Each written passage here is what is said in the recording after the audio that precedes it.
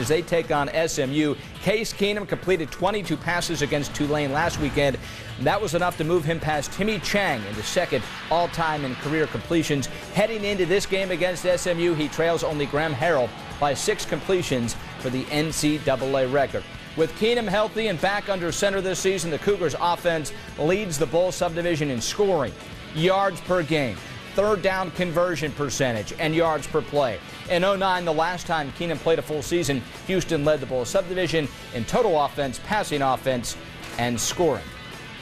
All right, the numbers, they're absolutely staggering that Houston continues to put up. And, you know, I'm just, I'm not sure people are ready to buy Houston as a legitimate team in the BCS that should be playing in a BCS game. I'm not sure people are ready to buy Keenum as a true Heisman candidate because all I keep hearing, it's the system. It's the system. Anyone in that system would put up huge numbers. Are you buying that?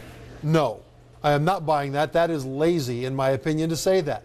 A system is just a series of decisions you ask the quarterback to make.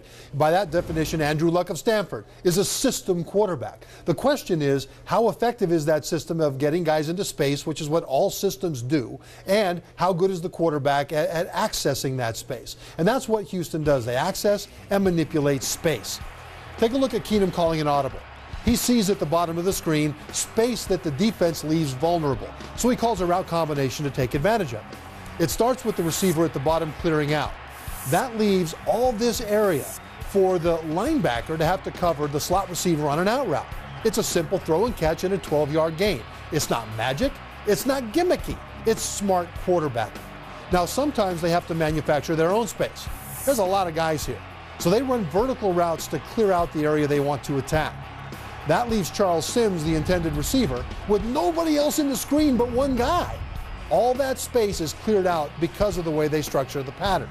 Now, the reason they have so many yards is because they're really, really good and they don't play a whole lot of top notch defenses. It's not because of the system. Against a defense like LSU or Alabama or a top defense, a 20 yard gain against a Conference USA defense might be a 10 yard gain. But those spaces exist against the top defenses. The question is, are you good enough to access it? And I believe that Keenum and his uh, core of, of skill players is good enough. Well, if you just look at the numbers, he should win the Heisman Trophy.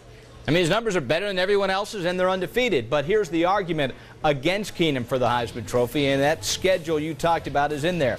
They're littered with teams that just don't have good defenses. The team with the highest ranked defense of the Bowl subdivision on Houston's schedule, it's SMU, which they play next, which is 33rd. Three of the Cougars' opponents, North Texas, Rice, and UAB, rank 102 or worse. That's right, but that doesn't change the fact that the two starting wide receivers, Tyrone Carrier and Pat Edwards, both run about a 4-3-40 against any defense.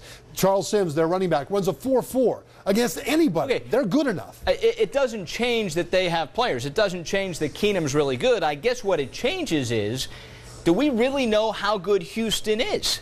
Well, not yet. And unfortunately for Keenum, from a Heisman standpoint, the votes will be cast before he gets to the bowl game. And it really would be a bowl team defense that he faces where he'll be able to really show that he is that good. And it's not just a matter of the defenses that he's faced. All right. And of course, game day will be at this game to give you an idea. They're buying in. They think Keenum is the real deal. And, uh, I mean, are you ready to, to take him to New York City for the Heisman Trophy? Does he Absolutely. belong to be there? I believe that he does, not because of his stats. I would be more impressed for him putting up 350 yards against a defense like Alabama in, in a potential Sugar Bowl matchup than I do putting up 600 yards against somebody else. All right, where does Case Keenum fall in your Heisman vote? Well, uh, follow us at Twitter at CFB Live, and the best tweets will make the end